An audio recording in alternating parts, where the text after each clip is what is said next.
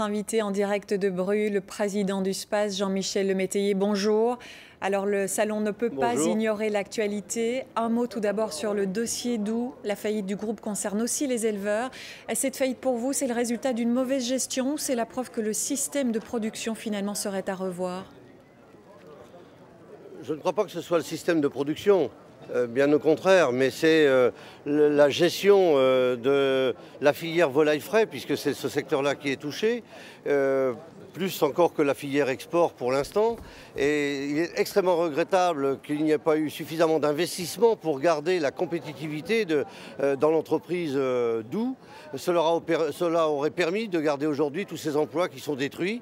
Donc parce qu'au-delà du groupe 12, ce qu'il faut, c'est relancer, au contraire, la filière avicole française et notamment euh, en production de viande fraîche, parce que le comble, c'est quand même de voir cette production se développer en Allemagne et importer de plus en plus cette viande fraîche sur notre territoire français. Donc euh, euh, il y a le dossier doux et je, comprends la détresse des, salariés et puis la question que doivent se poser les éleveurs, vais-je avoir des poussins dans mon bâtiment dans quelques semaines Mais au-delà de cela, c'est comment relancer la filière avicole française. Alors Jean-Michel Lemétayer, on l'a dit, François Hollande inaugure le salon tout à l'heure à 13h45. Vous l'attendez sur de nombreux dossiers. On a parlé celui de la flambée des prix des céréales notamment. Vous le dites vous-même, tout seul, le chef de l'État ne peut rien. Qu'attendez-vous de concret Qu'il mobilise ses partenaires euh, européens et ceux du G20 aussi pour une régulation du marché? Dans, ses responsabilités européennes et internationales, c'est clair qu'il doit mobiliser ses partenaires. La question de la flambée des prix des matières premières dont vous avez parlé, c'est une question de gouvernance mondiale. Seule euh, la France euh, ne peut rien. On voit bien que même la décision d'un grand pays dans le monde fait euh, flamber ce prix des céréales et même entraîne de la spéculation. Mais il y a aussi les aspects de future politique agricole européenne. Et là, notre président de la République doit dire ce que veut la France. Quelles sont ses orientations? Nous attendons euh, ces propos cet après-midi.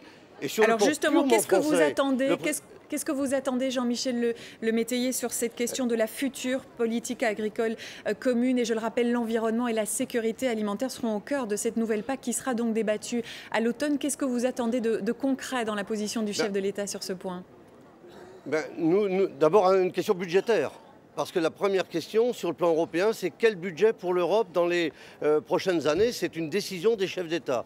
La deuxième chose, c'est comment accompagner cette agriculture qui doit répondre de plus en plus aux attentes de la société sur le plan environnemental, sur le plan de la qualité de l'eau. Et les productions animales sont d'ailleurs en, première ligne sur cette question. Et puis, euh, nous attendons que justement, par rapport à cette volatilité des marchés, qu'on tire enseignement des crises pour remettre de la régulation sur les marchés. C'est pas normal qu'on ait des prix qui, changent comme ça de plus 50, voire plus 100%, avec toutes les conséquences pour les éleveurs. Et puis, euh, c'est le président de la République aussi au niveau national. On l'entend parler de compétitivité. Je veux lui rappeler que dans notre secteur agricole et agroalimentaire, et notre région ouest est très concernée, le coût du travail a une importance pour rester compétitif sur, les marchés parce que la bataille est vive et ce n'est pas non plus normal qu'il y ait autant de distorsions sur le plan européen sur le coût du travail. Merci beaucoup Jean-Michel Lemétayer d'avoir été avec nous euh, ce midi.